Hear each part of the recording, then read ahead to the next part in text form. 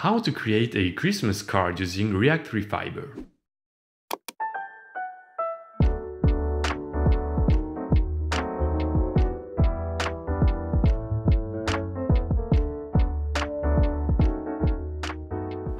This video I will show you how I created this Christmas card experience. It will be a mix of tutorial because I will explain how to do all the technical things I did to build this card, but in a second part of this video I will explain the process I followed that led me to this result. So the topics covered are scroll animation, mouse events, how to customize the cursor, 3D text, animations, but I will soon make a full complete video about this topic. Post-processing effects like blur and bloom, and also how to instantiate multiple skin mesh models.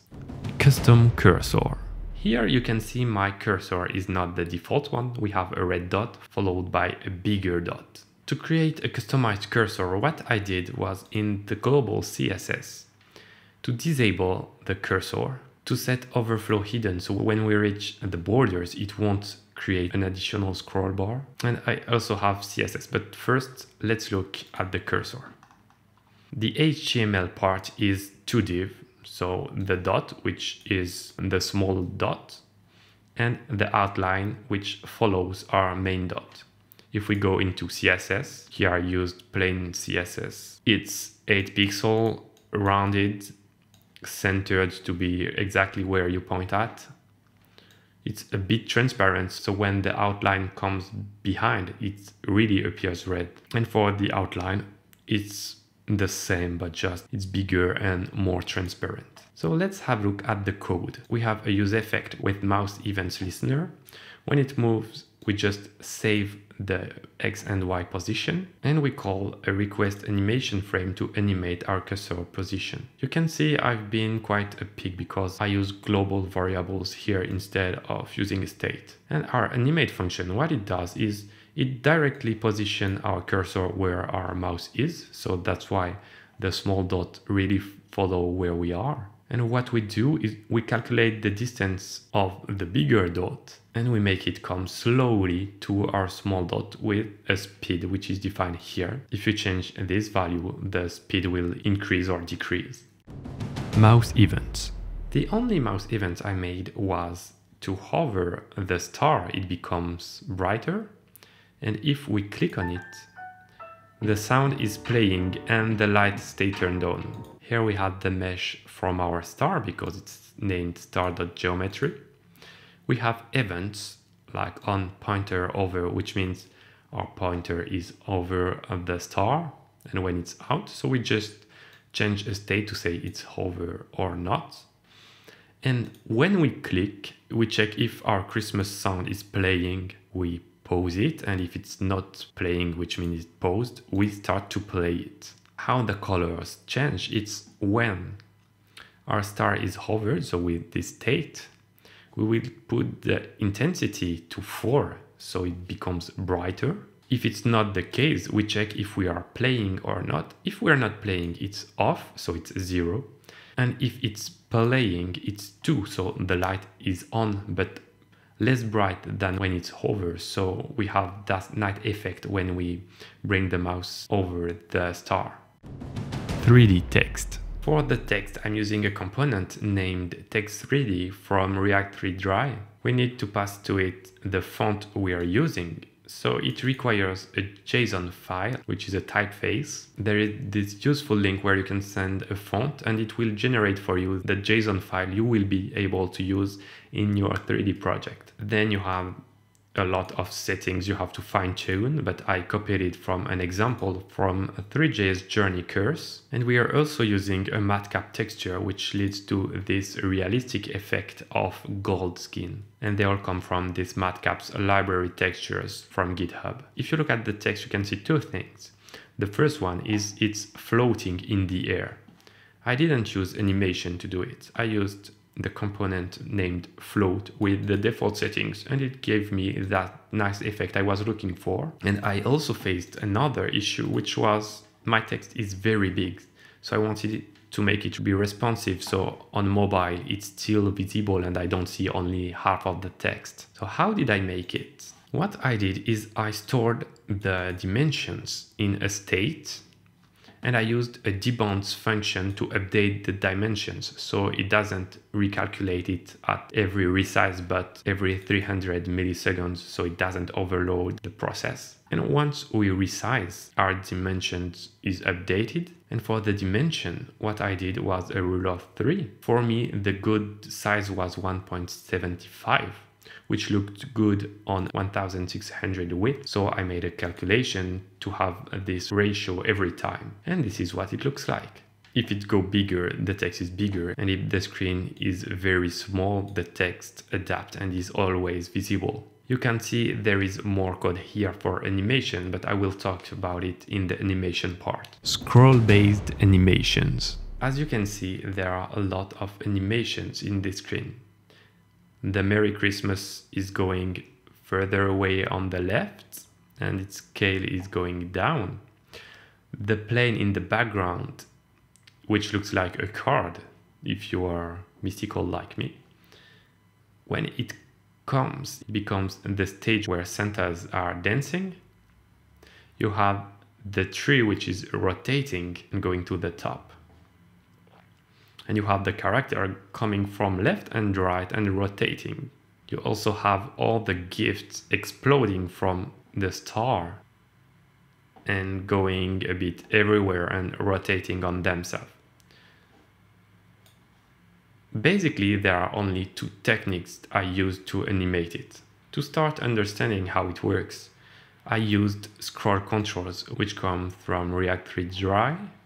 Uh, yes, and we define the number of pages we want. So I put two, one page is uh, an entire screen.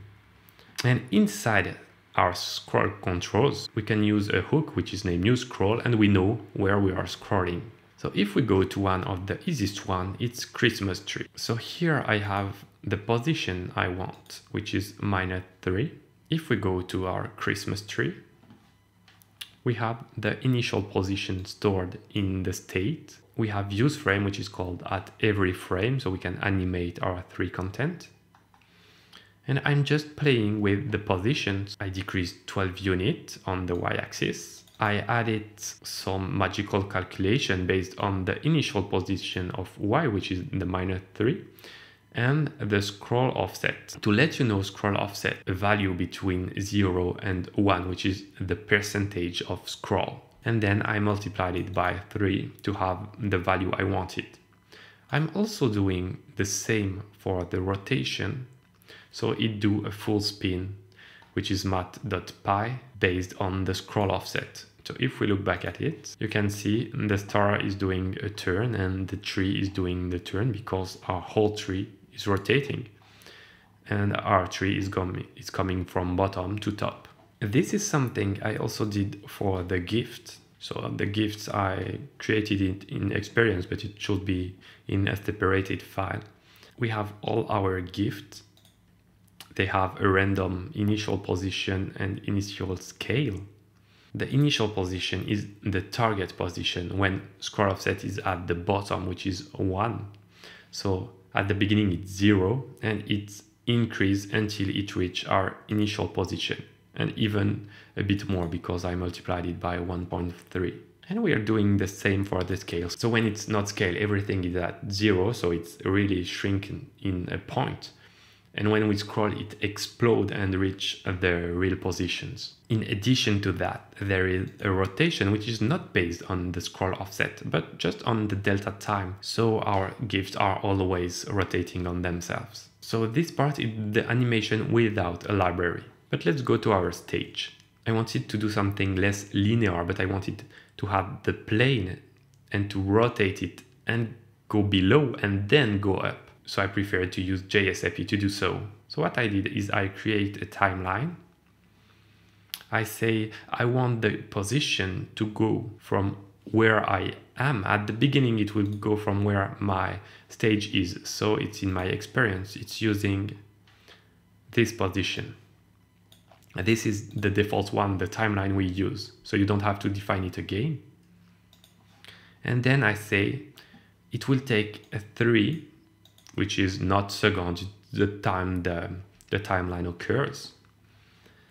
It will go to a minus 10 position, so it's going below the tree. The Z, it will go zero, so it's coming from back to uh, the front position.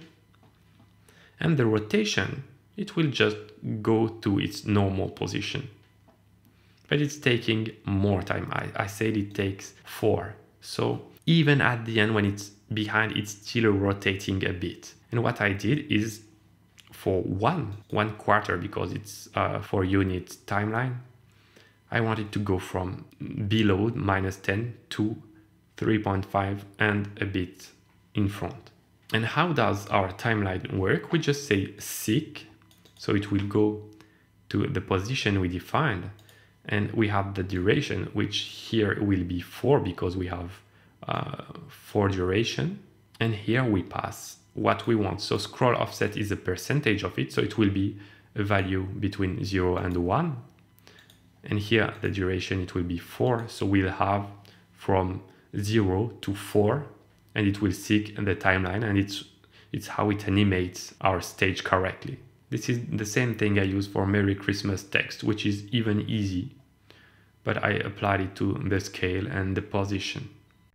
Multiple skinned mesh. If we go to our Santa model, we didn't use directly use GLTF because as it is a skin mesh model, it will reuse the mesh if I want to instantiate multiple Santa which is something I do here because I have one on the left and one on the right with different animation. And what happened when I use directly use GLTF is only one appeared because it reused the same data. So after looking on Stack Overflow and GitHub, I found a solution which is a function to clone the whole thing so you can use it multiple times. So I moved it to my hooks and you can use it and it works. Post-processing effects. Post-processing effects are coming from the post-processing library from React 3. So what you need to do is in your canvas to add an effect composer, you can define the multi-sampling and inside of it add your effect, but it has to be next to your model, your experience. You don't have to wrap everything inside, just your effects. So I used two of them. I used Bloom which is the fact that those lights are shining. And I also used depth of field, which is the fact. Here, if you look at the, the tree, the text, the center, it looks very sharp. But if you look at the gifts that are way backward, they look blurry because the focus is really made on the disposition it comes with parameters that are hard to just guess. So what I did is I used Leva. So here it's hidden. So let's unhide it, which is that library here. And I played with the digit here to, to know what I need to do, what focus distance, what focal length I need to have the best effect. So look here, if I put a focus distance too far, everything is blurry. But if I go, go back to what I was, it was 0 0.02. It was just perfect focus on where I wanted. I can adjust the bokeh so everything is way more blurry or you can just cut it off and nothing is blurry. So Leva is really useful when you need to fine tune some parameters and you want to see uh, the result in live. Now let's have a look at how I made this Christmas ball animation with the color changing. I created a standard material because I didn't want to use my texture and material I have made for my Christmas tree. I said tone mapped to false so the bloom is working on it and we need to add some intensity emission so the bloom take it in account. But if, if, if we go back if we go back to our effect on the bloom, we said when the light is more than one, it will start to bloom. But by default, if you say tone map to true, which is the default value, everything you will want to put above one will be go back to one, which is full white, and it won't it won't bloom for this reason.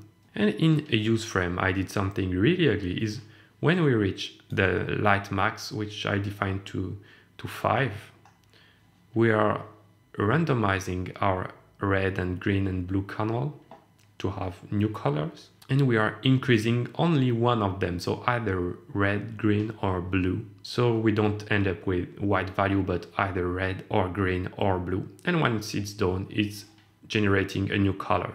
And the fact here that we have a random value means it's not perfect red or perfect green. So it's always a different color. Sketching process. I started by building a Christmas tree and a gift model. I admit I didn't know yet what I would build. I loaded the scene with Three.js but looked ugly without lighting. After some lights and reflection material, I tried to create a cool effect with the gifts. I generated them randomly around the tree and tried to animate them. I randomized their colors played with effects to see if the scene could be visually interesting, then went back to the animation and had that cool explosion animation ID based on scroll. Decided I should hide them behind the stars so I lowered and animated the Christmas tree.